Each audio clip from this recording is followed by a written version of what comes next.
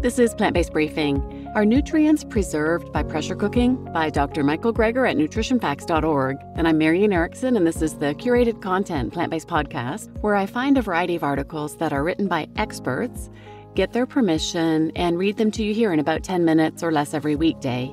Today's is from nutritionfacts.org. They're one of the go to places for nutrition information. There's a lot of confusing and conflicting nutritional advice out there, usually presented by people with a financial interest, so it's confusing and conflicting on purpose.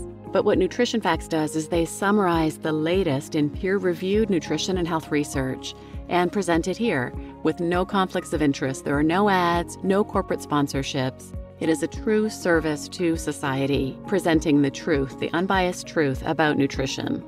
And he's not out there to get rich off of supplements or books. He's not out there to swindle you. He does write books. He has a new one coming out called How Not to Age. He takes a salary, of course, and there's a ton of volunteers in the organization, but 100% of all proceeds he has ever received from his books, DVDs, and speaking engagements have always and will always be donated to charity. And now let's get to today's plant based briefing. Are nutrients preserved by pressure cooking? By Dr. Michael Greger at nutritionfacts.org. In a review of more than 100 articles about the effects of cooking on vegetables, researchers tried to find the sweet spot. On the one hand, heat can destroy certain nutrients, but on the other hand, softening the tissues can make them more bioavailable. Researchers settled upon steaming as the best cooking method to preserve the most nutrition because the vegetable isn't dunked in water or oil where the nutrients can leach out, and excessive dry heat temperatures aren't reached either. They acknowledge, however, that of all the common cooking methods, we know the least about pressure cooking. There are all sorts of fancy electric pressure cookers like the Instant Pot. They're great for quickly cooking dried beans with just a touch of a button, but what happens to the nutrition? Let's look at black beans. The antioxidant content of pre soaked black beans boiled for about an hour, a usual cooking time, is high, but it's even higher when pressure cooked for 15 minutes. In fact, researchers found six times the antioxidant levels in the pressure cooked beans.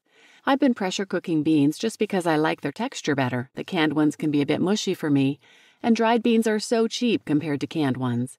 But now we know they're tastier, cheaper, and healthier. That's quite the triple threat. What about pressure cooking vegetables?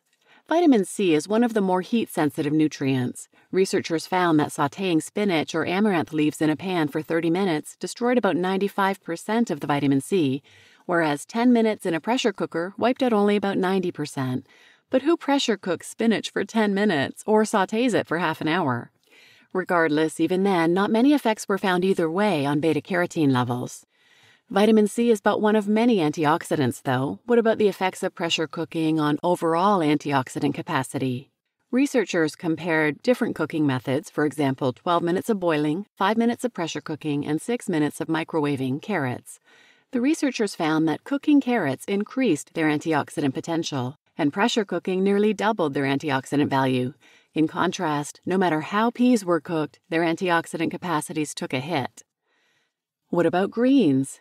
Chard wasn't affected much across the board, but for spinach, microwaving beat out both pressure cooking and boiling.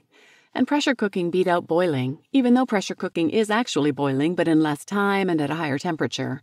However, the cooking time appeared to trump the temperature. The researchers saw significantly less nutrient loss when pressure cooking spinach for three and a half minutes compared to boiling for eight.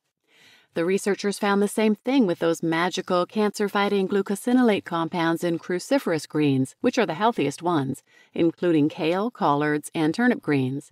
They had the highest nutrient levels when they were raw. Three quarters were wiped out by boiling, but less than half were eliminated by pressure cooking. Steaming beat both methods, retaining more nutrients than boiling or pressure cooking because the greens weren't dunked in water, which can leach out the nutrients. But even though the pressure cooked greens were immersed just as much as the boiled greens were, there were only half the nutrient losses, presumably because it was only half the cooking time 7 minutes pressure cooking compared to 15 minutes boiling. What if you cut down that time even more by pressure steaming? For instance, by adding a layer of water at the bottom of an electric pressure cooker, dropping in a metal steaming basket, then putting in the greens and steaming them under pressure. That's how I cook the greens I eat every day. I've always loved collards, especially in Southern inspired cooking or Ethiopian cuisine, and I found I could get that same melt in your mouth texture simply by steaming them under pressure for zero minutes. Zero minutes? Yes, just set the pressure cooker to zero so it shuts off as soon as it reaches the cooking pressure, then immediately open the quick release valve to release the steam. The greens turn out tender, a bright emerald, and cooked to perfection. Give it a try. You just listened to Are Nutrients Preserved by Pressure Cooking by Dr. Michael Greger at nutritionfacts.org. And I'm your host, Marian Erickson. And I think this is really interesting information. Gone are the days, thankfully, where people would dunk their greens or their vegetables in a pot of water and cook them to mush. Not only are they tastier this way, but it's good to know that they're way more nutritious. So please share this with anyone who might benefit, and thanks for listening.